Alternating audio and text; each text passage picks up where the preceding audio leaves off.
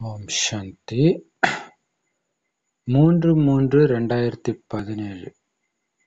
Murali revision முக்கியமான points ஞான கடைதல் இதில் பாபா என்ன சொல்கிறேன்னா இருபத்தி ஒரு பிறவிகளுக்கு நீங்கள் துக்கத்திலேருந்து விடுபடணும். அப்படின்னா யக்ய சேவையை அன்பாக செய்யுங்க. பாபாவை அன்பாக நினைவு செய்யுங்க. அப்போ இருபத்தி ஒரு பிறவிக்கு ஒருபோதும் துக்கம் அடைய மாட்டீங்க. துக்கத்துடைய கண்ணீர் கூட உங்களுக்கு இருக்காது. ஸோ அதனால உங்களுக்கு பாபா கொடுக்குற ஸ்ரீமத் குழந்தை என்ன தவிர எந்த உற்றார் உறவினர் நண்பரையும் நினைவே செய்யக்கூடாது நீனு. பந்தனமற்றவராகி லேசாகி அன்ப எகியத்தை பாதுகாக்கிற சேவை செஞ்சீங்கன்னா உங்களுடைய அனைத்து மன விருப்பங்களும் இருபத்தி ஒரு பிறவிகளுக்கு நிறைவேற்றப்படும். ஸோ அதுக்கு என்ன பண்ணணும்? ஒரு பாபாவை தவிர எனக்கு யாரும் இல்லை. அவருடைய சேவையிலே மூழ்கி கிடக்குறேன் அப்படி இருக்கணும் ஈஸ்வரிய சேவையில. அதே நேரத்துல பந்தனமற்றவராகவும் இருக்கணும். புத்தி வேற இடத்துக்கு போனாலும் மார்க் குறைஞ்சிடும். ஸோ அதில் கவனம் கொடுங்க. ஏன்னா இந்த யஜ்யத்தை பாதுகாக்கிறது உங்களுடைய கடமை. இதன் மூலமாக தான் உங்கள் அனைத்து மன ஆசைகளும் நிறைவேறவும் செய்யுது. இப்போ இப்ப பாபாவுடைய வழிப்படி நடந்து உலகத்துக்கு எஜமானர் ஆகிறோம் ஆஸ்திய அப்பா கிட்ட இருந்து அடைஞ்சிட்டு இருக்கிறோம் அப்படின்ற நம்பிக்கையில தான் நம்ம பாபா முன்னாடி உட்கார்ந்துட்டு இருக்கோம் மற்றபடி இந்த பழைய உலகம் கண்டிப்பா அழிய போகுது. இதுல எந்த சுகமும் கிடையாது. எல்லாருமே இந்த விஷக்கடல்ல மூழ்கி இறந்துட்டு இருக்கிறாங்க ராவணன் சிறையில துக்கம் அடைஞ்சிட்டே இறந்துட்டு இருக்கிறாங்க ஆனா நம்மள தான் பாபா விடுவிச்சு ஆஸ்தி கொடுக்கிறார். அவருடையவரை ஆக்கி இந்த ராஜயோகத்தை கற்றுக் கொடுத்து இரட்டை கிரீடதாரிகளாக நம்மள ஆக்குறார். லக்ஷ்மி நாராயணனா ஆக்குறார். அதனால மம்மா பாபாவை மாதிரி நாமளும் அவங்க போற வழி அவங்கள ஃபாலோ பண்ணி அவங்க அடைந்த அதே சிம்மாசனத்துல நாமளும் உட்காரணும்.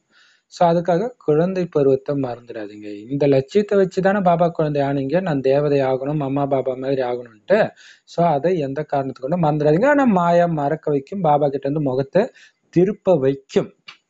ஏன்னா ராவண ராஜ்யம் ஆரம்பமானதுல இருந்தே அதோடைய வேலையே அதுதான். அதனால என்னாச்சு? எதுக்கும் உதவாதவர்களாக மனித முகம் இருந்தாலும் குணத்தினால குரங்காயிட்டீங்க.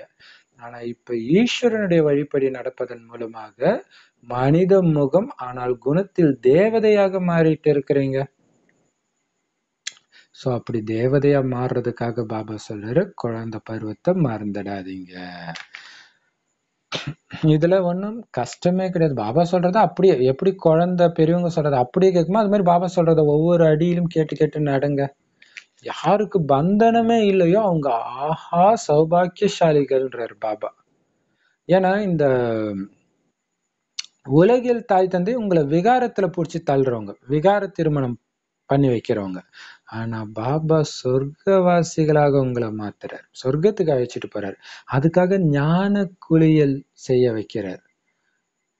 மற்றபடி நீங்க சரீரங் நிர்வாகத்துக்கான காரியங்களும் செய்யதான் செய்யணும்.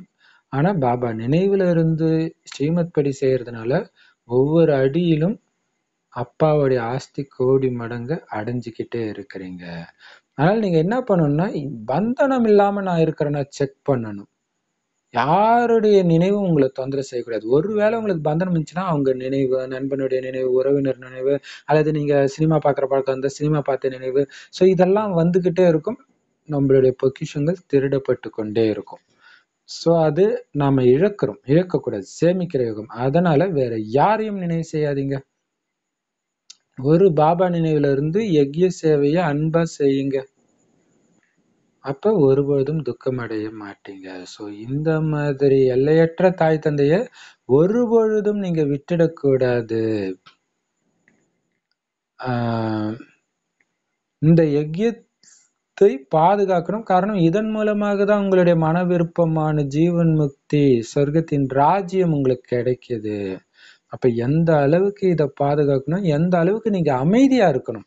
ஏன்னா அமைதியின் தூதுவர்கள் நீங்க உலகத்துக்கு அமைதியை கொடுக்க போறேன் அமைதியான உலகத்தை உருவாக்க போறோம்னு சொல்றீங்கன்னா உங்களை பார்த்தாலே சுகம் சாந்தி நிறைஞ்சிருக்கிற அனுபவம் அவங்களுக்கு ஏற்படணும் உங்க தொடர்புல வந்தாலே.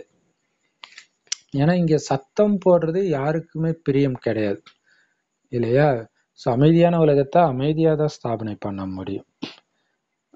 ஏன்னா ராவண ராஜ்யத்தை விடுபட்டு வந்திருக்கிறோம். இங்க வந்தப்புறமா ராவண ராஜ்யத்தின் பழக்க வழக்கங்கள் இருக்கக்கூடாது பாபா சொல்றார் பந்தனமற்று இருக்கிறவங்க வந்து இங்க இருக்கிற லட்சாதிபதி கோடீஸ்வரர்களை விட மகான் பாக்கியசாலிகள். அதே மாதிரி பந்தனம் துண்டிக்கப்பட்டு இருக்கிறவங்க கூட சௌபாக்கியசாலிகள். அவங்களுக்கு வந்து அதிர்ஷ்டம் திறக்கப்பட்டிருக்கு. எவ்வளவு திறக்கப்பட்டிருக்கு இல்லையா? அதிர்ஷ்டம். அவங்க இஷ்டத்துக்கு அள்ளிக்கிட்டே இருக்கலாம். பொக்கிஷத்தை. அதாவது ஈஸ்வர சேவையிலே மூழ்கி கிடக்கலாம். எந்த பந்தனமும் இல்லாததுனால. அது மட்டும் இல்லாம வெளியில என்ன இருக்கு? வெறும் கொடூரமான நரகம் சாரமற்ற நரகம் தான் இருக்குது. துக்கத்தை தவிர எதுவுமே அங்க கிடையாது. அதனால அந்த எல்லா கவலையும் விட்டுடுங்க. பாபாட்ட கொடுத்துட்டு லேசா ஆயிடுங்க அன்பா சேவை செய்யுங்க தாரணை செய்யுங்க. உங்க வாழ்க்கைய ஸ்ரீமத் படி நடந்து வைரம் மாதிரி ஆக்கிக்கோங்க. உங்களுடைய சுபாவத்தையும் நல்லா வச்சுக்கணும் சதோ பிரதானம் வச்சுக்கணும். அப்பதான் சதோ பிரதான உலகத்தின் உயர்ந்த பதவி அடைய முடியும். இல்லாட்டினா பதவி குறைஞ்சிடும். அதே மாதிரி இந்த ஈஸ்வரிய யஜ்யத்துல எது கிடைச்சாலும் அதை மனதார ஏத்துக்கோங்க ஸ்வீகாரம் செய்யுங்க. ஏன்னா பிரம்ம பாபா பெரிய வைர வியாபாரியா இருந்த பொழுதிலும் பாபா வர்றதுக்கு முன்னாடி அவரு நிறைய ஆசிரமங்களுக்கு போகும் பொழுது அங்க என்ன கொடுக்குறாங்களோ அதைத்தான் அப்படியே ராயலா வாங்கி சாப்பிடுவாரே தவிர எனக்கு இது வேணும் அது வேணும்னு கேட்க மாட்டாரு. அதே மாதிரி இந்த ஈஸ்வரி ஆசிரமத்துல எதையும் அமைதியாக இருந்து ஏத்துக்கோங்க. இப்ப பாபா கூட யார் இருக்கிறாங்களோ அப்படின்னு ஒரு மகிமை இருக்கு இல்லையா? இறைவனோடு இருப்பவர்கள்னா அந்த மகிமை இப்ப உங்களுக்கு தான். ஏன்னா உங்க எதிரில தான் பாப்தாதா உட்கார்ந்துட்டு இருக்கிறாங்க. இப்பவே எவ்வளவு முடியுமோ அந்த அளவுக்கு இந்த ஈஸ்வரிய சேவைக்கு தகுதியானவர் ஆகணும். அதாவது பாபா நமக்கு கொடுக்குற ஞானத்தை மற்றவங்களுக்கு சொல்லக்கூடிய அளவுக்கு நம்மளுடைய திறமையை வளர்த்துக்கல அப்படின்னா கல்ப கல்பத்துக்கும் பதவி குறைஞ்சிடும். அதனால ஞான கண் இல்லாதவர்களை ஊன்றுகளாகி இந்த மண்மனாபவ இறைவனை நினைவு செய்யற இந்த மகா மந்திரத்தை கொடுத்துக்கிட்டே இருங்க. இதுதான் சஞ்சீவனி மூலிகை. ஏன்னா இந்த யுத்த மைதானம் ராவண ராஜ்யத்துல இந்த மாயாவோடு யுத்தம் போடுற இந்த மைதானத்துல பல பேர் மயங்கி கிடக்குறாங்க. சிலர் முற்றிலும் மயங்கிட்டாங்க. அவங்களுக்கு இந்த சஞ்சீவினி மூலிகை கொடுக்கணும் பாதுகாப்பா இருக்கணும் அப்படின்னா இந்த ஞான ரத்தினங்களை நீங்க தாரணை செஞ்சு மத்தவங்களுக்கு தாரணை செய்ய வைக்கணும். தேகத்தின் மீது உங்க தேகத்தின் மீது கூட கொஞ்சம் கூட பற்று இருக்கக்கூடாது. ஏன்னா இந்த பற்று தேக உணர்வு தான் உங்களை விழ வைக்குது. அதனால உங்களுடைய பற்றெல்லாம் ஒரு பாபா மேலேயும் அவர் கொடுக்கிற இந்த அழிவற்ற விலை மதிப்பற்ற ஞான ரத்தினங்கள் மேல மட்டும்தான் இருக்கணும். ஆஹ் ஸோ எந்த அளவுக்கு நீங்க தாரணை பண்ணிக்கிறீங்களோ அந்த அளவுக்கு மற்றவங்களுக்கும் தாரணை பண்ண வைப்பீங்க. ஏன்னா இந்த ஞானி ஆத்மாக்கள் தான் பாபாவுக்கு மிக மிக பிரியமானவர்கள். ஏன்னா பாபாவே மிகப்பெரிய சேவாதாரி. ஸோ சேவைக்கு அவர் தேடுறது ஞானி குழந்தைங்களை தான் தேடுறாரு. ஸோ இதை பெரிய பெரிய மனிதர்களுக்கு கூட கேட்டு குஷி அடையறாங்க. ஆனா கோடியில சிலர் தான் இதை புரிஞ்சுக்கிறாங்க. நீங்க வந்து எல்லையற்ற சந்நியாசம் பண்றீங்க. ஏன் ஏன்னா நீங்க பாக்குற இந்த பழைய உலகத்துல இருக்கிற எல்லாம் அழிஞ்சிடும்னு உங்களுக்கு தெரியும்.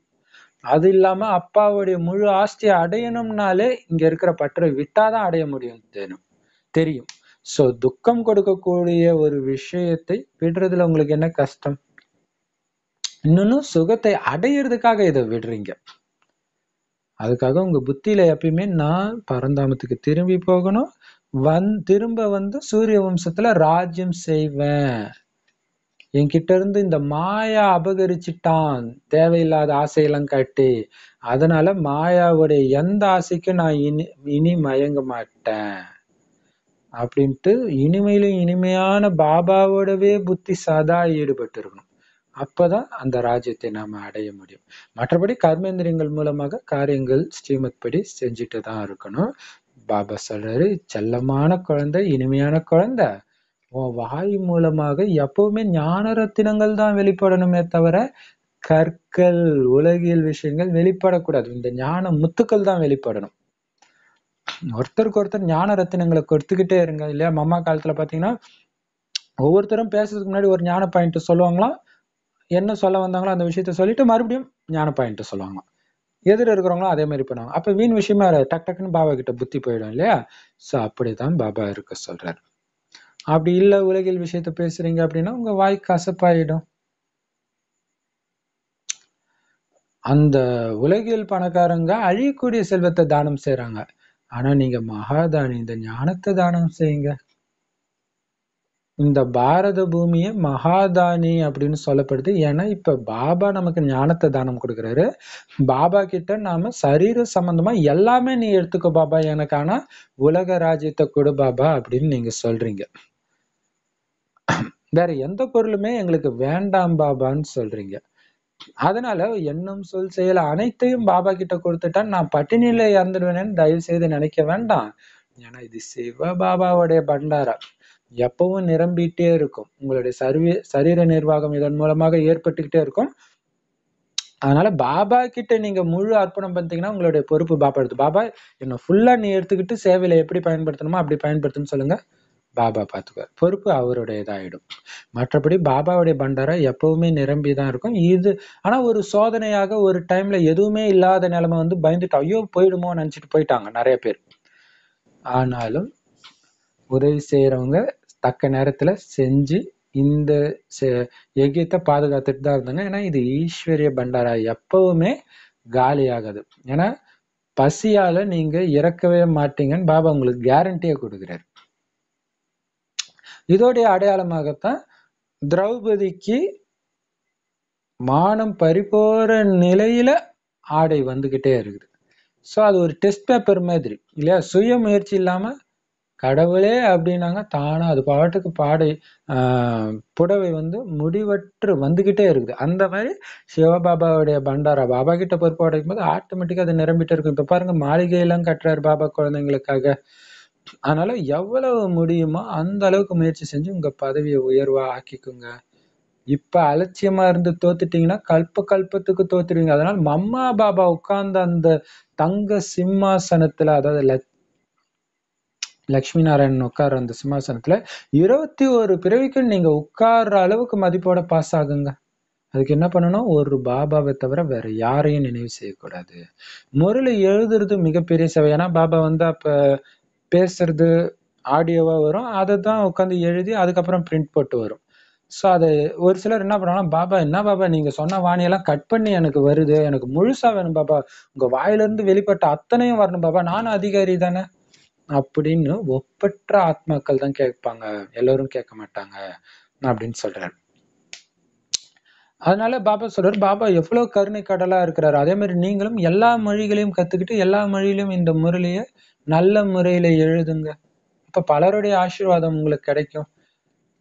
பலருடைய வாழ்க்கையை உருவாக்குறதுக்கு உதவி செய்யுங்க. அதன் மூலமாக உங்களுடைய வாழ்- வாழ்க்கையும் உயர்ந்துடுது.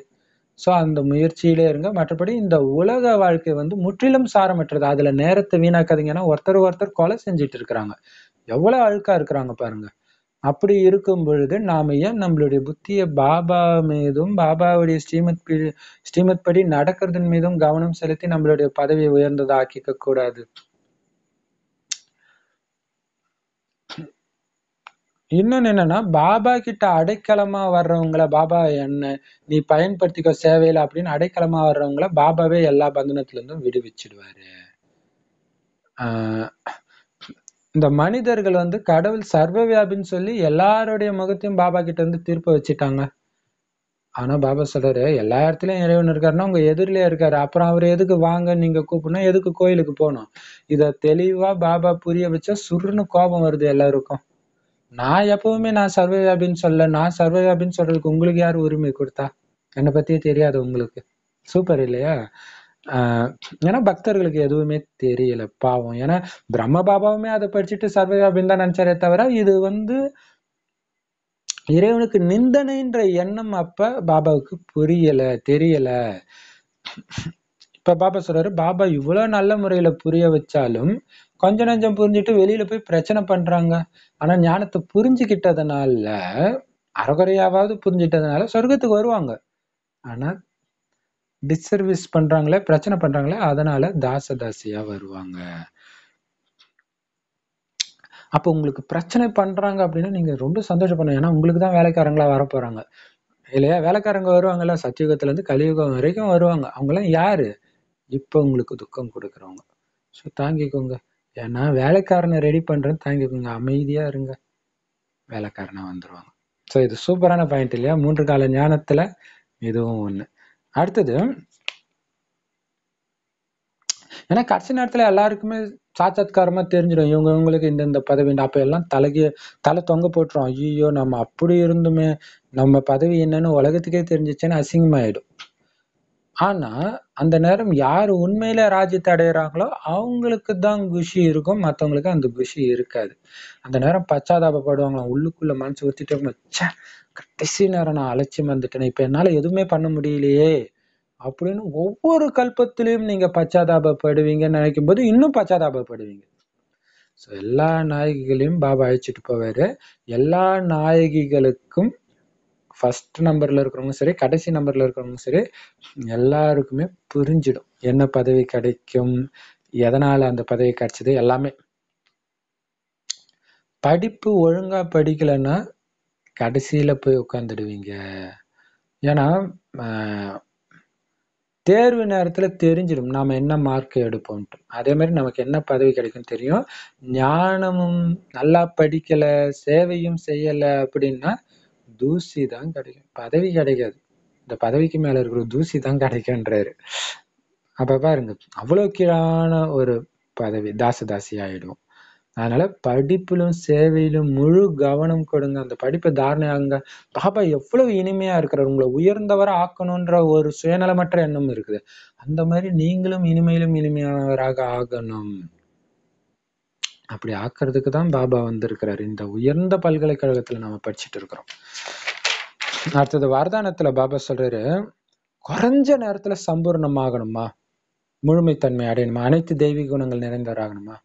ரொம்ப ரொம்ப ஈஸியான வழி. டபுள் லைட் ஸ்திதியில எப்பயுமே பறந்துட்டே இருங்க. ஃபரிஸ்தாவா அல்லது ஆத்மாவா பறந்துட்டே இருங்க. ஆத்மா ஒரு லைட். அடுத்த லைட் என்ன? எல்லாத்தையும் பாபா கிட்ட கொடுத்து லேஸ் ஆயிரும் லைட் ஆயிடுறான் அந்த லைட்டு ஸோ இந்த இருட்டு எல்லாத்துக்கும் முற்றுப்புள்ளி வச்சுட்டு பாபா பார்த்துக்கறன்ட்டு பாபாவையே அப்படியே மயங்கி பார்த்துக்கிட்டு இருந்தீங்கன்னா கீழே இருக்கிற பிரச்சனையெல்லாம் அது தானா சரியாயிடும். அந்த பிரச்சனையோடைய பிரபாவம் உங்களை தாக்கவே தாக்காது. அப்படியே லேசா இருப்பீங்க. ஏன்னா பாபா கிட்ட இருப்பீங்க. அப்படி இருந்தீங்கன்னா எதுவுமே உங்களுக்கு கஷ்டமா அனுபவம் ஆகுது ஈஸியா அந்த சம்பூர்ணம்ன்ற உயர்ந்த லட்சியத்தை அடைஞ்சிடுவீங்க. அப்படி அடையுங்க அப்படின்னு வரதானம் சொல்றாரு. ஸோ அதனால தீவிர வேகத்துல முயற்சி செய்யறதுடைய அடையாளமே இந்த டபுள் லைட் ஸ்திதியில இருக்கிறதா. அப்படியே பாபா ஞானம் பாபாவுடைய யோகம் ஞானம் யோகம் ஞானம் யோகம் இதுலயே சதா மூழ்கி இருங்க கை கால் மூலமாக ஸ்தூல சேவை செஞ்சுட்டே இருங்க. ஆனா யோகமும் ஞானமும் புத்தியில சுத்திக்கிட்டே இருக்கணும். அப்பதான் உங்களை லேசாக்கிட்டே இருக்கும். இந்த துக்கதாமத்திலே புத்தி வந்துடக்கூடாது. அதுதான் ஸ்லோகனே ஆக்சுவலா. துக்கதாமத்துல இருந்து புத்தியை விலக்கியே வச்சிருந்தீங்கன்னா துக்கத்துடைய அலை உங்க கிட்ட கூட வர முடியாது. இங்க என்ன நடக்குதுன்னே தெரியாது. நான் மேல இருக்கிறேன் ஒளியா இருக்கிறேன் இந்த உலகத்துக்கே சக்தி கொடுக்கறது நேத்து வரதானோ இல்லையா? அதுதான் என்னுடைய கடமை. சோ அமைதியின் சக்தியை நான் கொடுத்துட்டே இருக்கேன் கொடுத்துட்டே இருக்கிறேன். நான் கீழே வந்தா யார் இவங்களுக்கு சக்தியை கொடுக்கறது? அதனால நான் மேலே இருக்கிறேன். அப்ப கீழே என்ன நடந்தாலும் உங்க குடும்பத்துல என்ன நடந்தாலும் உங்களுக்கு கொஞ்சம் கூட துக்கமே ஆகாது. ஸோ சுகமா இருக்கிறதுக்கு தானே பாபாட்ட வந்திருக்கிறோம். குஷி தான் பிராமண வாழ்க்கையுடைய உயிர் மூச்சு இல்லையா? ஸோ அதுக்கு டபுள் லைட்டா பறந்துகிட்டே இருங்க. ஞானம் யோகம்ன்ற ரெக்கையை விரித்து ஊக்க உற்சாகத்தோட பறந்துக்கிட்டே இருங்க. குஷி குஷியாக சேவை செஞ்சுட்டே இருங்க. அப்போ துக்கதாமத்தில் உங்களுடைய புத்தி மாட்டாது. வீண் விஷயங்கள் வராது. ஒரு பாபாவை தவிர யாருடைய நினைவும் உங்களுக்கு வராது. ஓம் சாந்தி. இந்த முரளி சேர்னிங் இருக்குது இல்லையா? இந்த மாதிரி முக்கியமான பாயிண்ட்ஸ் இதை வந்து அடிக்கடி கேளுங்க. அதனாலதான் இது தனியாக போடுறது. ஏன்னா முழு வாணி நல்லா தான் இருக்கும் சூப்பராக இருக்கும். ஆனால் அது ஒரு தடவைக்கு மேலே கேட்குறது கஷ்டம். இதுனா பல தடவை கேட்கலாம். அதுக்காக தான் இதை பண்ணுறோம் ஸோ பயன்படுத்திக்கோங்க. எவ்வளவு நேரம் பாபாவை நினைவு செஞ்சுன்றத அவசியம் கமெண்ட்ல போடுங்க. நானும் அடுத்த வீடியோவில் வந்து கண்டிப்பாக போடுறேன். அதேமாதிரி சேவையும் போடுங்க. இதில் புகழ் கிடையாது. நாம் இவ்வளோ பண்ணுறமே மற்றவங்க பண்ணலையே நான் நாளைக்கு சொல்லணுமே எனக்கு சொல்கிறதுக்கு எதுவுமே இல்லையன்ற அந்த குற்ற மனப்பான்மையினால் தீவிரமாக பாபாவை நினைவு செய்வீங்க தீவிரமாக சேவை செய்வீங்க. ஸோ சேவை நீங்க எங்க சேவை செஞ்சீங்க அது சொல்ல தேவையில்ல. ஏன்னா அதில் நிறைய பிரச்சனை வரும். அது எப்படி எங்க சென்டர் விட்டு வேற சென்டர் போனோம் இந்த மாதிரிலாம் பிரச்சனை வரும். அது வேணாம் வேண்டாம். தைரியம் இருந்தா சொல்லுங்க இல்லாட்டினா சொல்லவும் வேண்டாம். சும்மா கோயில் பேரை மட்டும் சொல்லி ஊர் பேரை சொல்லாம அந்த கோயிலில் நான் இந்த சேவை செஞ்சேன் இத்தனை பேருக்கு நோட்டீஸ் கொடுத்தேன் இத்தனை பேருக்கு முன்னாடி சொற்பொழிவாட்டினேன் இந்த ஸ்கூலில் பேசினேன் காலேஜில் பேசினேன் இது மாதிரி சொல்லுங்கள் அப்படியும் பண்ண முடியல நான் ரொம்ப பிஸியாக இருக்கிறேன். ஆனால் எனக்கு அந்த இடத்துல பர்மிஷன் வாங்கி கொடுக்க முடியும் அப்படின்னு நீங்கள் நினச்சிங்கன்னா வாங்கி கொடுங்க. நாங்கள் வந்து அந்த சேவை செய்கிறோம் ஓம் சாந்தி.